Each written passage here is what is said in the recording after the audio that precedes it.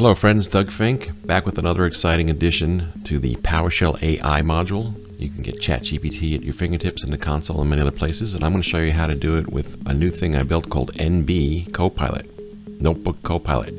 You can now use it inside of uh, Polyglot interactive notebooks.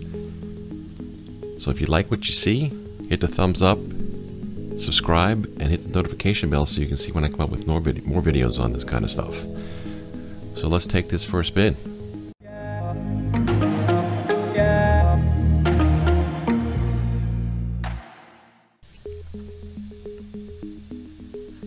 Okay, so here I am. I'm inside a Polyglot interactive notebook. If you search for that on the internet, you can find the GitHub repo that they have and how to install it and then install the Visual Studio Code extension and you're off to the races.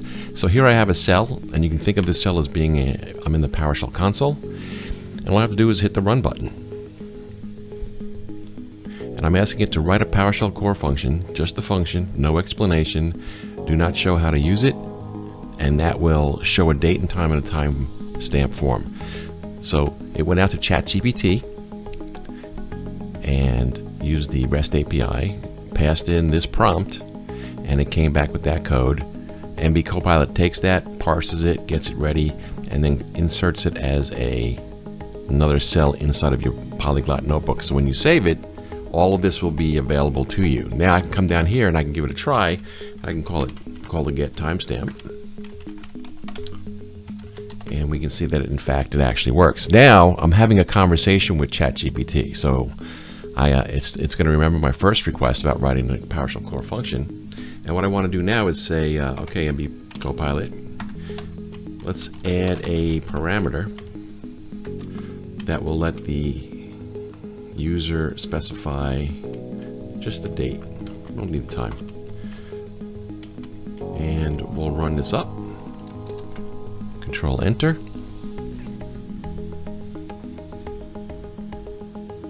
So it remembers the conversation, what was asked before.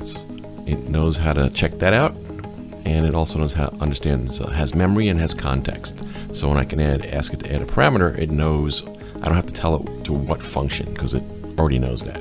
And sure enough, we uh, almost got it right. So let's make another modification. So that will allow the user to specify not the format of the date, just specify the date and we'll get rid of this one. So this is how you can tailor and refine your questions. Now, now it will remember what we just told it, and that's not too bad. Um, so it gave us the, the, the, date, which I wanted for that as a parameter. It kept the format, no big deal. Let's, um, well, we can run it, and then we can try it. Add another code cell and I'm just going to try out that plus, let's try 1 slash 22. And you can see it actually picks up the parameter correctly. And if we don't want that kind of a format, we can change the format on the two-string by passing that in as well. I won't demo that. The last thing I'll do to bring this home is let's talk to NB Copilot again. Remember, it's got context and memory. And now what I want to do is I want to tell it to add comment-based help to the function. So let's see what that does. And there we have it. comes back with comment-based help, a synopsis, it talks about the parameters, it gives us a couple examples, and everything's good to go. I can run it, and it actually compiles, so to speak, or it just puts it into the run space for PowerShell because it's dynamic. Anyway, so we saw some really cool things. We started out with a single cell and said, write a PowerShell core function and it did and then we asked it to add a parameter and it did a couple of them we refined that and then finally we asked it to write comment based help to the function.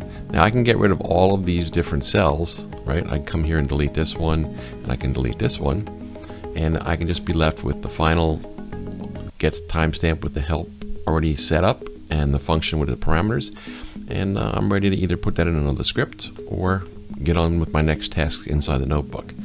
So I hope you liked it, and I'll be back down the road with some more. Take care.